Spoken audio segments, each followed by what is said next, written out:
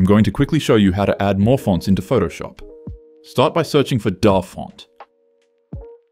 And click on the website dafont.com. This is one of the largest places to download free and paid fonts of almost any style. Some other places I'd recommend would be fonts.google.com and 1001fonts.com.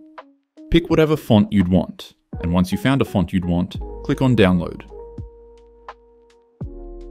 Go to the location of the file you just downloaded and extract it. Once it's extracted, go into the folder and you should see either a .ttf file or a .otf file. Open either one. Then click on Install. If you have Photoshop open, restart it. Once you've restarted Photoshop, you should have the new font available to use.